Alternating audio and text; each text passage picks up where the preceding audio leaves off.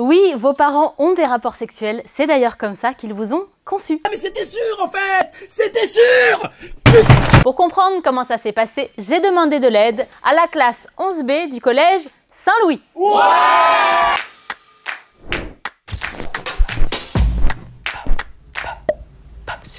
on va d'abord jeter un petit coup d'œil à nos organes reproducteurs. La pièce maîtresse des systèmes reproducteurs mâles et femelles, ce sont les gonades.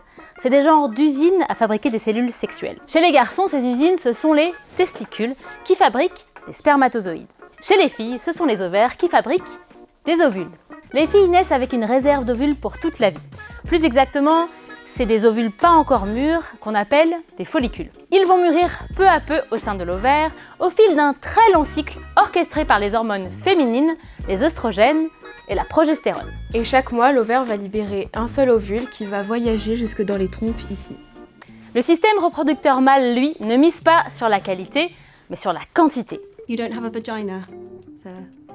Dans les testicules, sous l'influence des hormones masculines, principalement la testostérone, des millions de spermatozoïdes sont sans cesse fabriqués et stockés dans l'épididyme. L'objectif, c'est que la cellule femelle, l'ovule, soit fécondée par la cellule mâle, le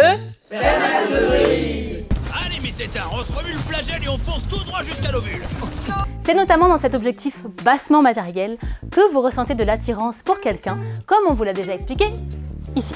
Une fois que vous vous êtes rapprochés l'un de l'autre, reste encore à transférer la cellule mâle vers la cellule femelle. C'est pour cela que l'évolution a inventé un moyen de transport très efficace, le pénis. Tu veux voir mon sexe? Ouais, donc le pénis, c'est un genre de bus pour spermatozoïdes, quoi. Et du coup, le bus, il fonctionne tout le temps? Alors non, le transport, il fonctionne que si le pénis est en érection. Là, j'ai vu érection.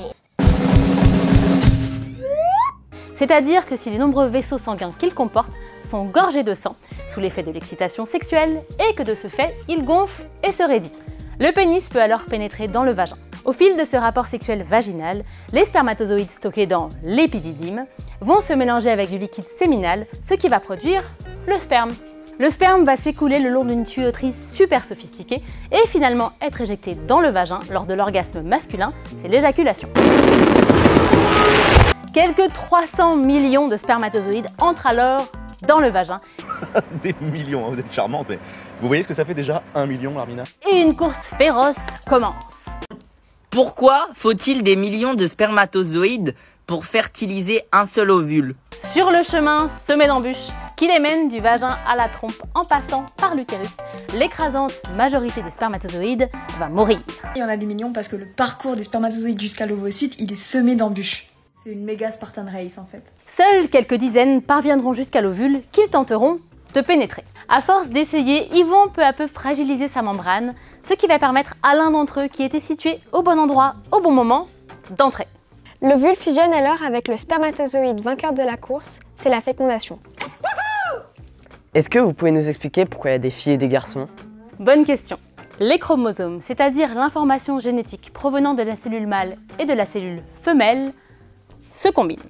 L'ovule contient 50% du matériel génétique de la mère, soit 22 chromosomes et un chromosome X. Le spermatozoïde, lui, contient 50% du matériel génétique du père, soit 22 chromosomes plus un chromosome X ou Y.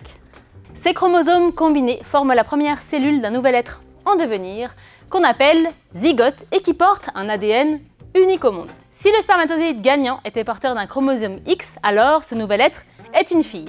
S'il était porteur d'un chromosome Y, alors c'est un garçon Dans les heures et les jours qui vont suivre, cette première cellule n'aura de cesse de se diviser pour former un embryon qui va peu à peu voyager vers l'utérus.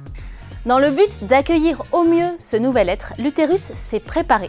Ses parois se sont épaissies, rembourrées, pour permettre au futur embryon de s'accrocher. Notez que si la fécondation n'a pas lieu, ce rembourrage est évacué par le vagin, c'est les règles. Si la fécondation a bel et bien lieu et que l'embryon s'accroche aux parois de l'utérus, il va se développer durant 9 mois jusqu'à devenir un beau bébé prêt à sortir. Et voilà comment vous avez fait votre apparition sur cette planète. C'est le moment de dire que c'est pas parce que vos organes reproducteurs sont prêts que vous devez vous sentir contraint d'entamer une vie sexuelle. Il n'y a pas le feu au lac, chacun son rythme.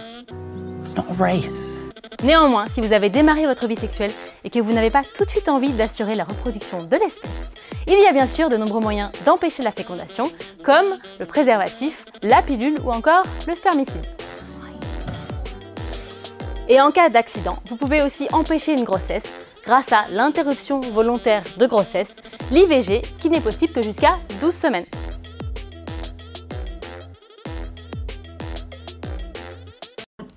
Pourquoi faut-il des millions de spermatozoïdes pour fertiliser un seul ovule? Parce que les spermatozoïdes sont masculins et refusent de demander leur chemin.